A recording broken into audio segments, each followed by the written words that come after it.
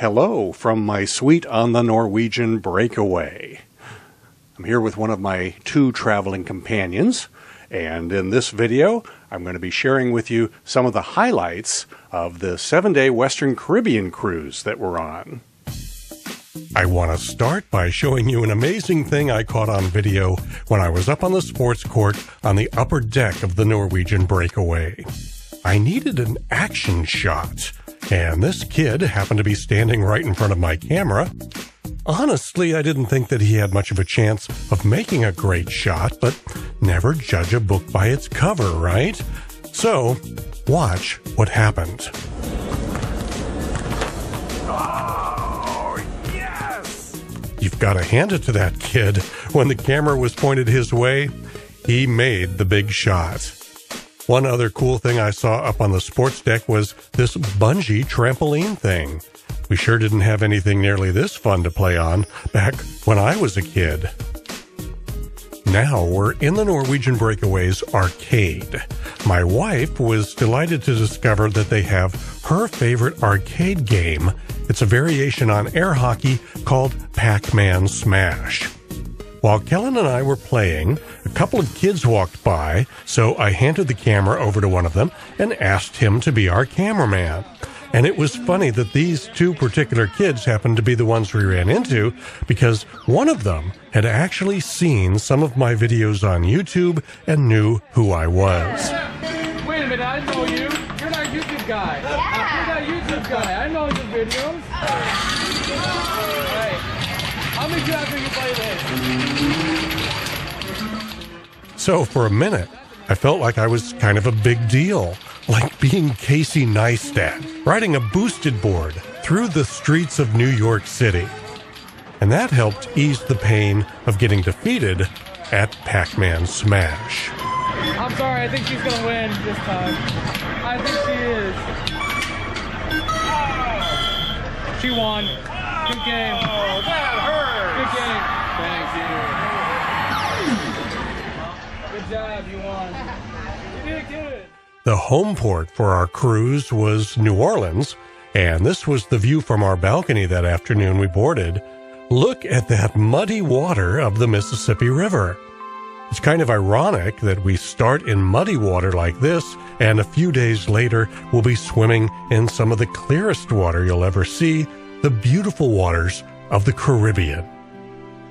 Carnival Dream was docked just in front of us in New Orleans that day, and she pulled away from the dock just before we did. That building on the right there with the white top, that's a big shopping mall, part of one of New Orleans' biggest tourist attractions called the Riverwalk. We had walked through it just the day before, not realizing that right in front of the mall's food court was where our cruise ship would be docked the next day. Sailing down the Mississippi River from New Orleans is a very interesting experience. It's completely unlike any other cruise ship sail away I've been on. Usually, when a cruise ship sails away, it's just a matter of minutes before it's in open water. But in New Orleans, it takes something like six hours of cruising down the Mississippi River before the ship actually makes it out into the Gulf of Mexico.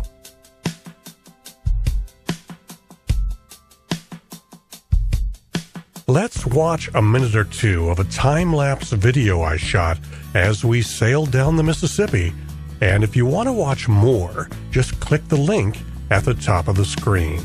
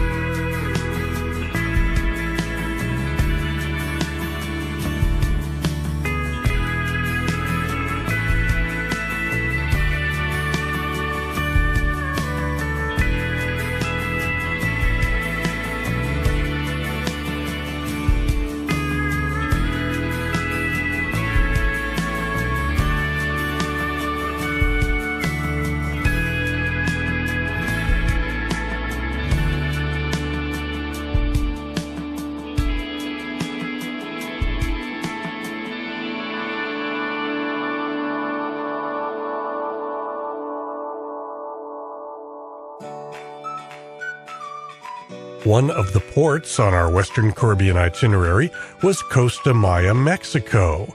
And as Kellyn and I walked down the pier, she came up with a very witty line. I was quite impressed. She pointed to that white wall over on the right there, and she said, Hey, I bet Mexico really did pay for that wall. In Costa Maya, there are shops, several restaurants, and a really nice large swimming pool that you can use at no charge at all. Our favorite attraction there is a series of walk-through bird aviaries known as aviarius.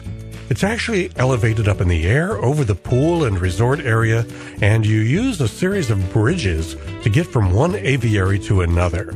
A set of double doors keeps the birds from escaping. Our favorite part is spending time with the macaws. Something you probably don't know about us is that about 20 years ago, Kellyn and I had a pet macaw. We didn't fully realize the amount of attention that a macaw requires, and in retrospect, we probably never should have adopted that macaw. We weren't really the ideal candidates to care for a macaw at that point in our lives, since our two kids and a dog got most of our attention back then. We only had that macaw for about a year before we ended up finding a better home for him but even after all this time, we've still got a fondness for macaws. So it was a real treat to be able to take as much time as we wanted to hang out with the macaws in Costa Maya.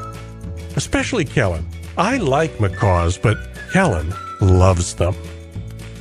We also actually had an aviary in our backyard at one point back in the day with parakeets and cockatiels and finches. And as you can see, parakeets still love me. Now let's do a one minute montage of all the cute and colorful birds in Costa Maya.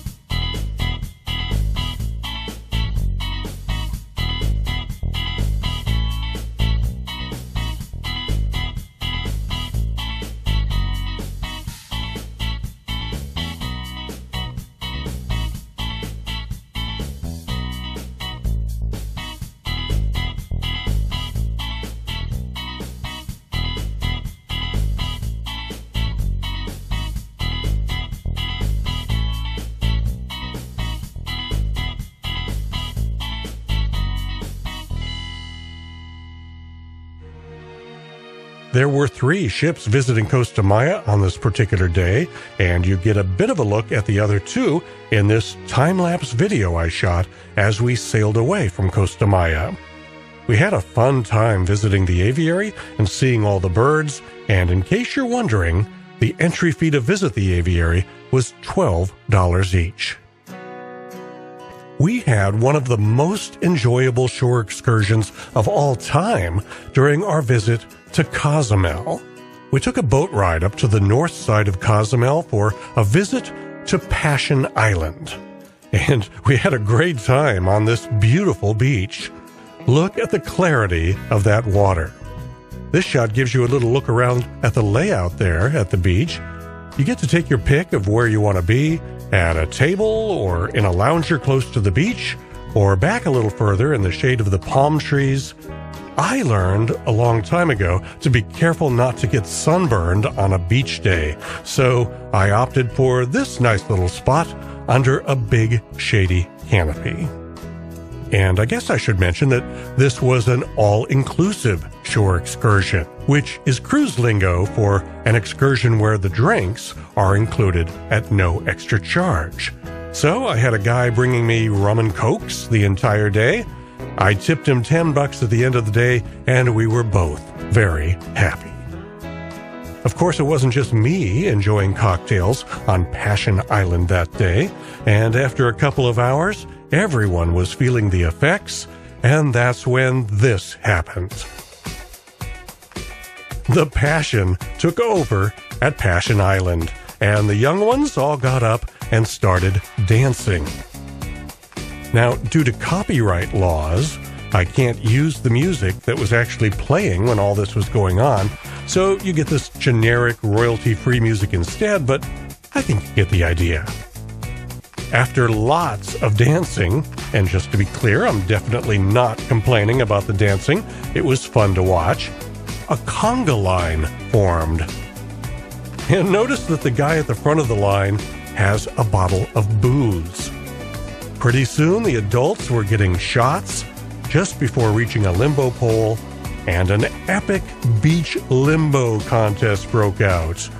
If you want to watch an extended version of it, click the link up at the top of the screen. Now, I know that there's some people that are going to say it's creepy of me to be shooting video of girls in bikinis doing limbo. But look, I'm trying to give you a glimpse of what a Caribbean cruise is all about, and specifically the kind of fun to be had on the Passion Island excursion in Cozumel. My wife and I both thought that this was one of the most fun excursions we had ever been on, and we agreed that on a future cruise to Cozumel, we will do it again. The limbo contest was open to all ages, but if you've ever watched people doing limbo before, you know that the tallest people are quickly eliminated from the contest, and in the end, it always boils down to the shortest ones. These two girls were the last two remaining after the limbo stick got down to a ridiculously low level, and this girl right here was the final winner. There was actually a lot more to like about Passion Island than just drinking and dancing. They served up an amazingly great lunch for us. These chicken fajitas that I had were fantastic. Should I be embarrassed that I opted for a side of fries with them. Ah, anything goes on Passion Island. The fajitas were actually so good that I went back for a second plate with a side of beans that time. And since the subject has now become food, let's talk about the dining situation on Norwegian Breakaway. I learned the hard way on MSC Seaside that if the food is not to your liking on a seven day cruise, it's just not going to be a really great cruise. No such problem on Norwegian Breakaway.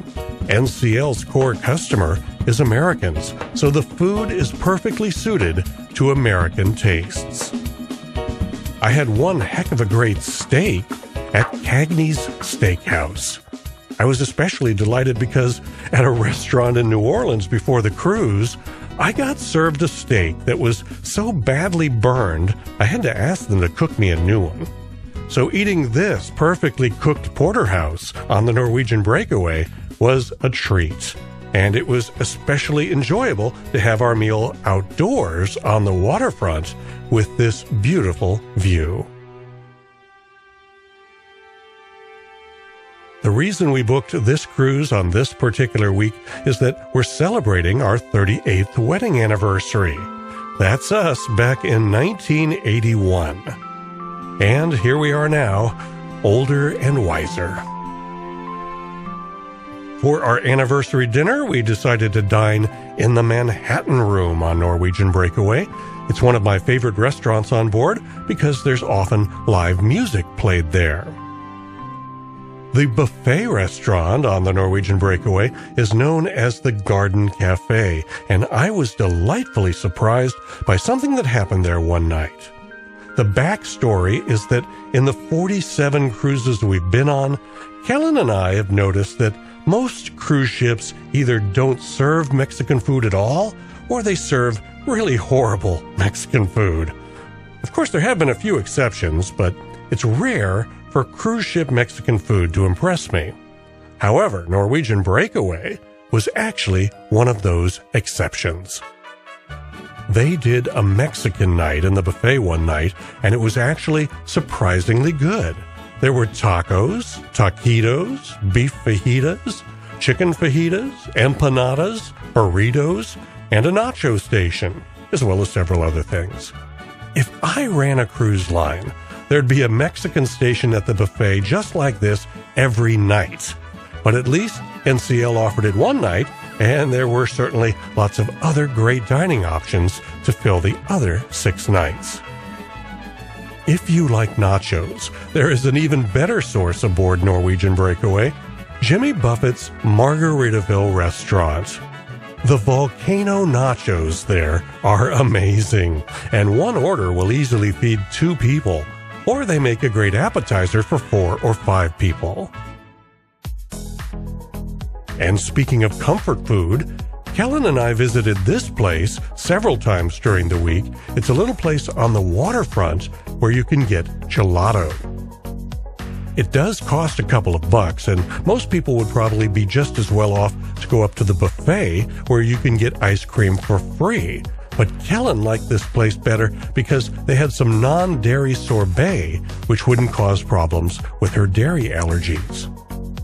My favorite meal of the day is breakfast, and we had some fantastic breakfasts on Norwegian Breakaway. We paid the big bucks for a suite in the Haven, and one of the many benefits of staying in the Haven is having access to the private Haven restaurant.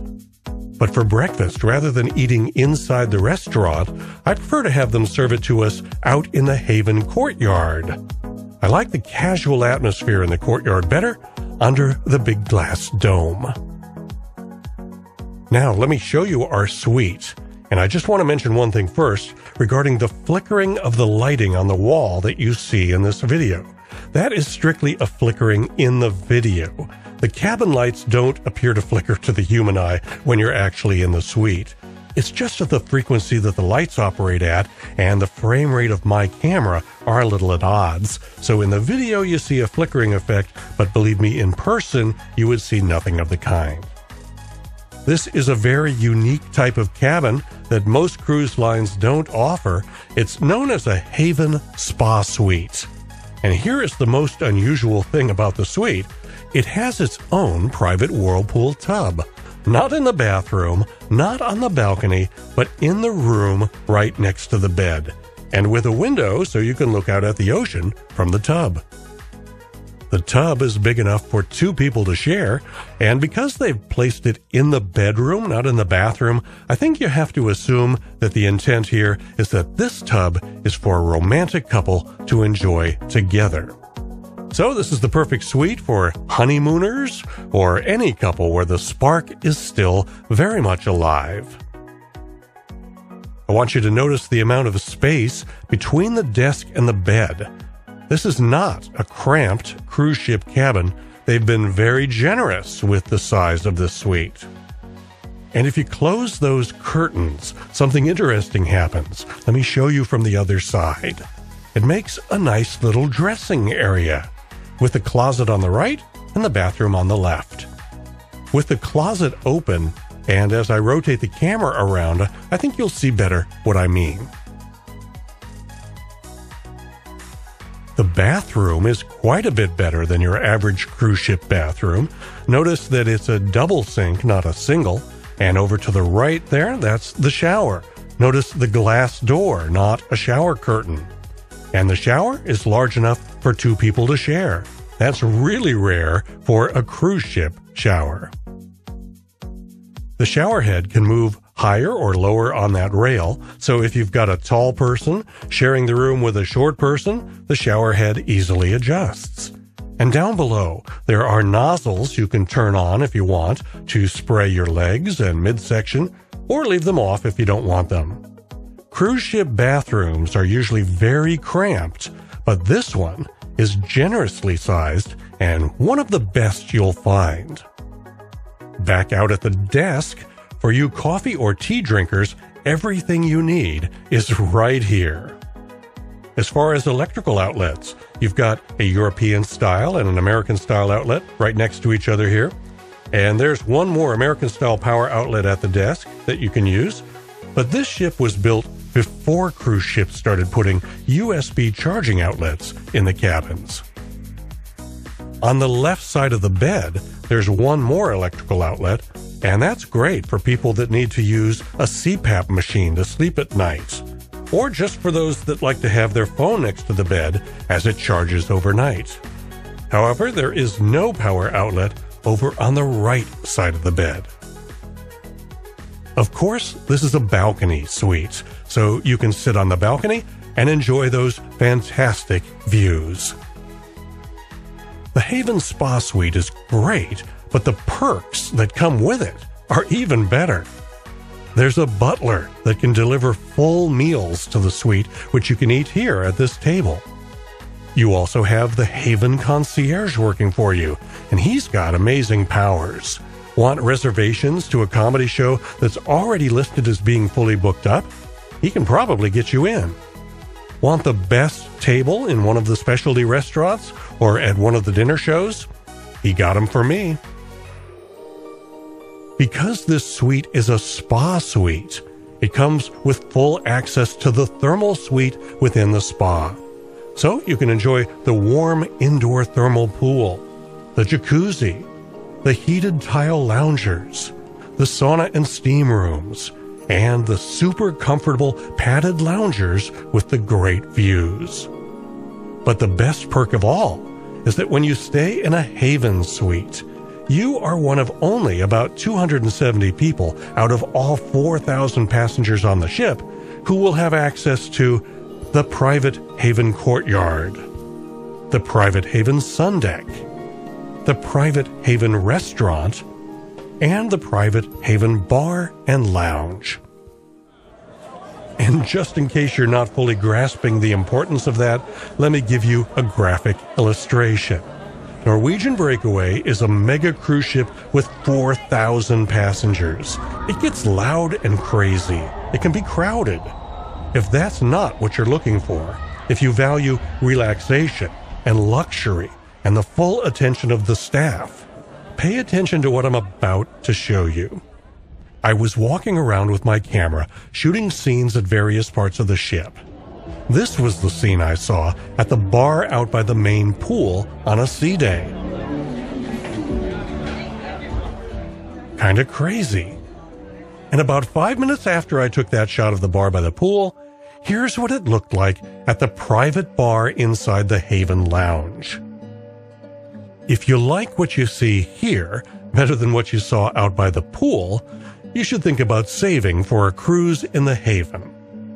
For my wife and I at this point in our lives, we've worked hard, we've saved well, and we can afford it. The Haven is our favorite way to cruise. If you'd like to book a cruise on Norwegian or any cruise line, feel free to use my travel agent, Caitlin Gallagher.